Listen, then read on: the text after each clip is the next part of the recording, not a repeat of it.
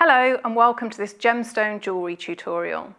In this project we'll be making the bracelets that you can see here and learning how to do a wrap loop as you can see here. So if we have a little look at what we get in the kit, you'll get some stretchy elastic,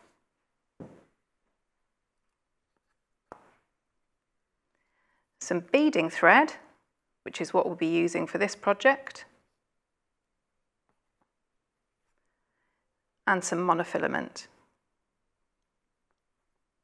You'll also be getting your findings. So if we go through these, getting your jump rings,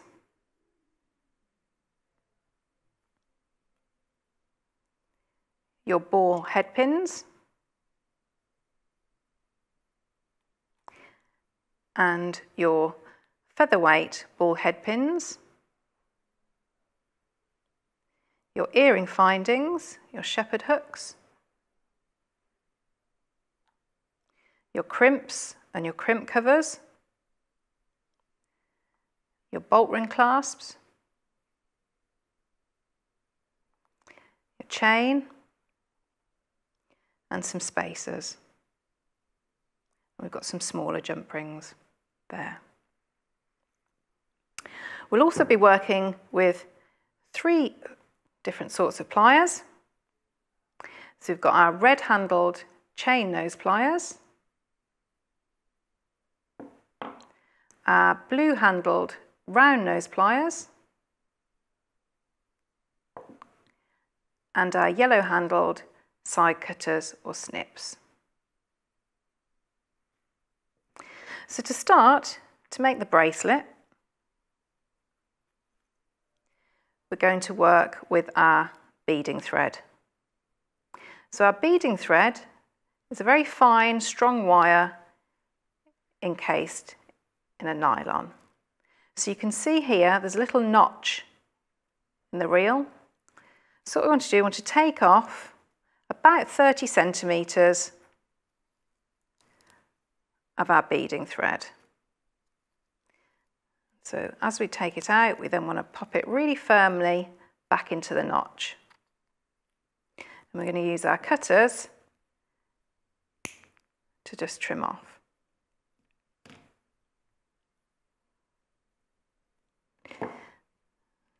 So our starting point is going to be to make the, to pop the findings onto the end of the beading thread. So first of all, we're going to take a crimp and a clasp.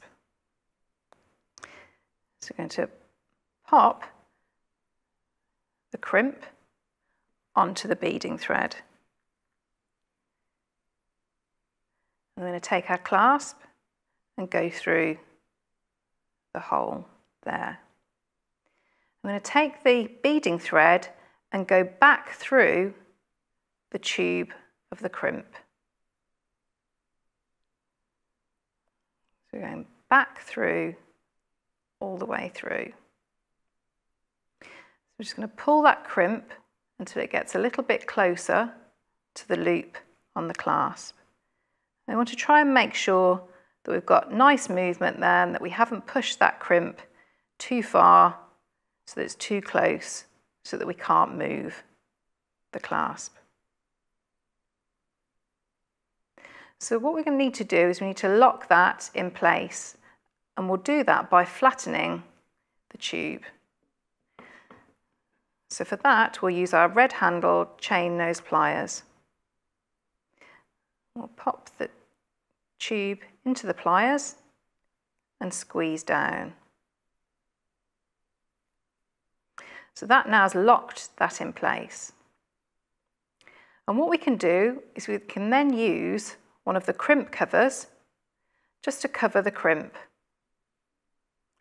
I'm going to take one of our crimp covers. We want to position it so that the crimp is sitting in the valley of the crimp cover. It's going to hold the, the two pieces of the beading thread and the bolt ring clasp out the way.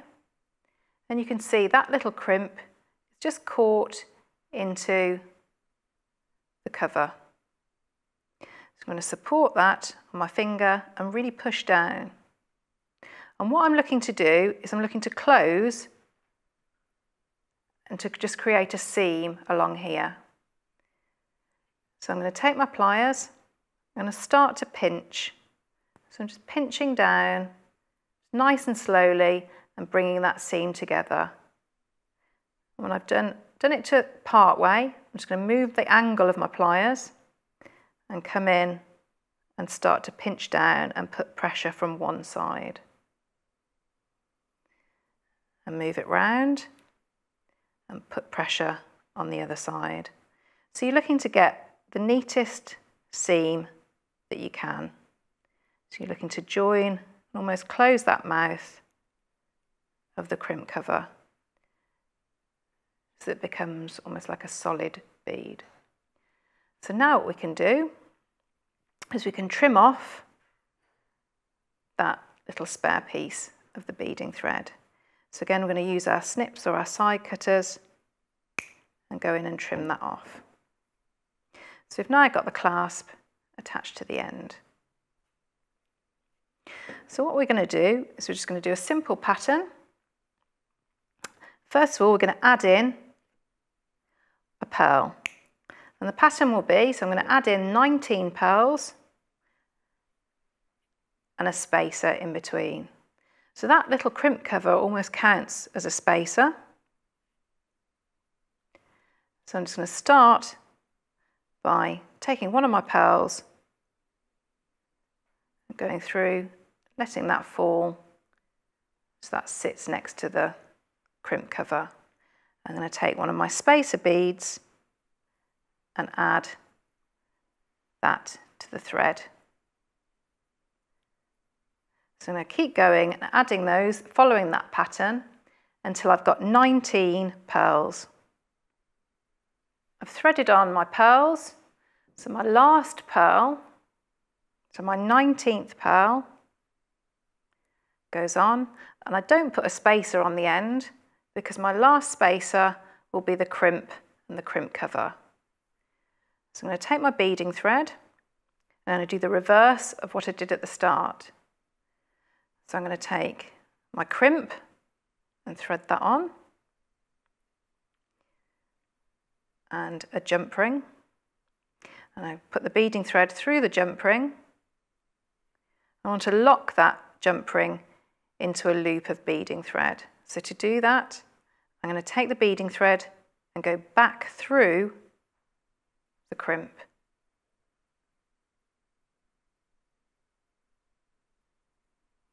So you can see I'm starting to pull that, so I'm going to hold on to the jump ring and as I pull down, that loop will get smaller. You can also hold the bracelet up I pop my pliers in and keep pulling on here. So if I hold the bracelet up now, you can start to see that it's getting a little bit more taut, but I want to make sure that I've still got nice movement and a little bit of space in between each of my pearls and spacers. Because if it's too taut, it'll be too rigid and it won't be very comfortable to wear. So I want to keep a nice bit of fluidity. So I'm just going to pull along there until I'm happy that that's the right sort of rigidity. So I'm going to come down now and swap my pliers over my chain nose pliers and I need to crimp the tube again. So I'm going to hold the thread out of the way and go in and really squash that tube down. That's now locked that in place. But again, so that we can, it's going to match up to the other end where we've got our crimp cover, almost like our spacer bead. So we're going to take again, so we're going to support here. So I've got it, the jump ring in between my thumb and my finger. And I take one of my crimp covers and just pop the crimp into the valley and the opening of the crimp cover. And you can just give that a little bit of a wiggle so that it sits in really nicely and securely into that little valley or into the V. So again, I'm going to hold the thread and the pearls out of the way. I'm supporting it with my thumb and my finger. I'm going to take my chain nose pliers and start to close that seam. So we're bringing it, so I'm squeezing down, starting to close. And at that point, I'm going to stop and come in and put pressure from this angle and then from the other side. And all the time, just getting that seam as neat as I can. So that it now starts to look like one continuous spacer bead. So I'm going to take the little tail that we've got here.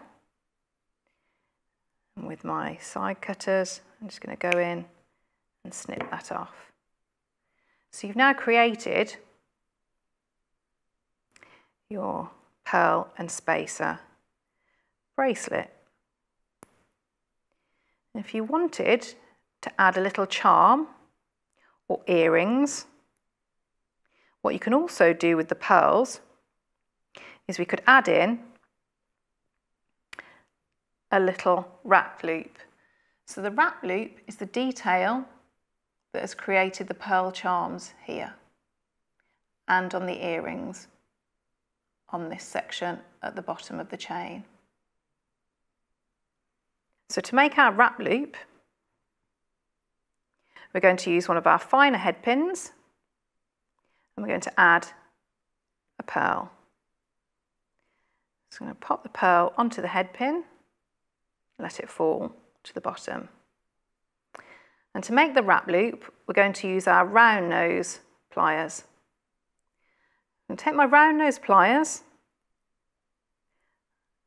and I pop the head pin into the pliers. And I've got that so it's about a third of the way down from the tip. So I'm going to hold my pliers and I come out a right angle with the head pin. And to move my pliers over that angle. I'm going to keep my hand still with the pliers and move the wire so that it moulds over the top. So it takes on the form of that nice curve of the round nose pliers. So now, if I take my pliers out just to check, I should have like a little coat hanger or a question mark shape. So my pliers were like that. So I've taken them out and I'm popping them to the bottom of my pliers now. So I'm going to take the tail and I come out all the way round, again coming out at a right angle. So now I'm going to take the tail, I'm going to start to wrap around the stalk above the pearl. And I go all the way down, just wrapping, and you can wrap as many times as you like until you hit the pearl with the tail. So I'm going to take my cutters now and just trim off the little bit of excess here. I'm going to take that, just hold the head pin, making sure that I don't cut the loop.